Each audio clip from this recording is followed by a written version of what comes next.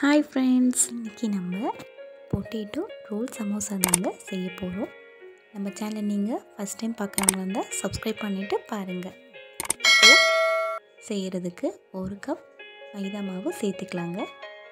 தேவையான அளவுக்கு சால்ட்டு சேர்த்துக்கலாம். ஒரு ஸ்பூன் கருப்பு எள்ளு சேர்த்துக்கலாங்க. சேர்த்துட்டு நம்ம நல்லா மிக்ஸ் பண்ணி விட்டுக்கலாங்க. சப்பாத்தி மாவு நம்ம பிசைஞ்சு எடுக்கிற பதத்துலேயும் நம்ம இந்த மாவை பிசைஞ்சு எடுத்துக்கலாங்க. மாவு நல்லா சாஃப்டாக இருக்குது ஒரு ஸ்பூன் ஆயில் சேர்த்து நல்லா அப்ளை பண்ணிக்கலாங்க. ஓ காட்டன் கிளாத் போட்டு மூடி நிமிஷம் நம்ம ஊற வச்சுக்கலாங்க. ரெண்டு உருளைக்கிழங்கு நம்ம வேக வச்சு எடுத்துருக்கோம். அதை நல்லா கிரேட் பண்ணி எடுத்துக்கலாங்க. கால் டீஸ்பூன் இஞ்சி பூண்டு பேஸ்ட்டு ஒரு ஸ்பூன் சில்லி ஃப்ளேக்ஸ் சேர்த்துக்கலாங்க. சேர்த்தாச்சு. இப்போது கால் டீஸ்பூன் ஜீரகத்தூள் சேர்த்துக்கலாம். ஒரு பச்சை மிளகாய் இதை நம்ம சாப் பண்ணி சேர்த்துக்கலாங்க. ஃபைனாக சாப் பண்ண கொத்தமல்லி சேர்த்துக்கலாம். ஒரு ஸ்பூன் கார்ன்ஃப்ளவர் மாவு சேர்த்துக்கலாங்க.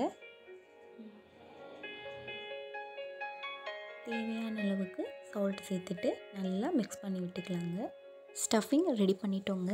இப்போது நம்ம ஒரு ஷேப் பண்ணிக்கலாங்க. இந்த மாதிரி ஷேப் பண்ணால் தான் நம்மளுக்கு ரோல் சமோசா அழகாக வரும்.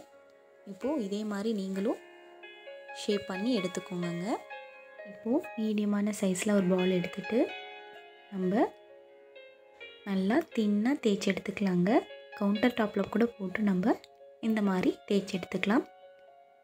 இப்போது ரெடி பண்ண பொட்டேட்டோ ஸ்டஃபிங் வந்து நம்ம ஷேப் பண்ணி எடுத்தோம் இல்லையா? அதை வச்சுட்டு நம்ம சைஸ் பார்த்துக்கலாங்க.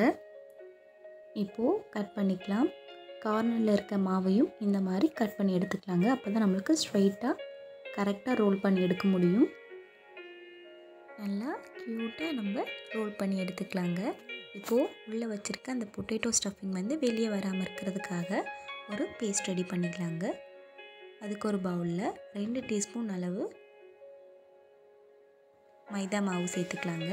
சேர்த்துட்டு கொஞ்சமாக வாட்டர் சேர்த்துட்டு இந்த கன்சிஸ்டன்சியில் நம்ம ரெடி பண்ணிக்கலாங்க. இப்போது மாவில் அந்த பேஸ்ட் ரெடி பண்ணோம் இல்லையா? அதை வந்து அப்ளை பண்ணிவிட்டு கார்னரில் இருக்க அந்த மாவை அப்படியே மேலே வந்து நல்லா ப்ரெஸ் பண்ணி விட்டுருங்கங்க. அப்போ தான் ஸ்டஃபிங் எல்லாமே வெளியே வராமல் இருக்கும். இப்போ பேலன்ஸ் இருக்கிற பால்ஸ்லேயும் இதே மாதிரி கட் பண்ணி ரோல் பண்ணி எடுத்துக்கலாங்க.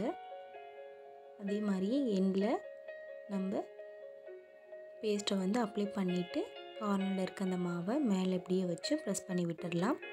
இப்போது எல்லா பொட்டேட்டோ ரோல்ஸும் ரெடி பண்ணிட்டோங்க. இப்போது ஆயில் நல்லா ஹீட் ஆகிடுச்சிங்க மீடியம் ஃப்ளேமில் வச்சு நம்ம ஒவ்வொன்றா போட்டு எடுத்துக்கலாங்க. கொஞ்சமாக ஸ்பேஸ் விட்டு போட்டுடுங்க அப்போ தான் ஈஸியாக உங்களுக்கு ஃப்ரை பண்ணி எடுக்க முடியும். பேக் சைட் நல்லாவே உங்களுக்கு வெந்துடுச்சு. அதனால் திருப்பி போட்டு ஃப்ரை பண்ணி எடுத்துக்கலாங்க. இப்போது பேலன்ஸ் இருந்த பேட்சஸ் எல்லாத்தையும் போட்டு எடுத்துக்கலாம். மைதாவில் செய்கிற எல்லா ஐட்டம்ஸுமே கொஞ்சம் குக் பண்ணுறது லேட் ஆகுங்க. அதனால் மீடியம் ஃப்ளேமில் வச்சு நம்ம ஃப்ரை பண்ணி எடுத்துக்கலாம். சூப்பராக ரெடி ஆயிடுச்சுங்க. பொட்டேட்டோ ரோல் சமோசா நல்லா கிறிஸ்பியாக இருக்குங்க.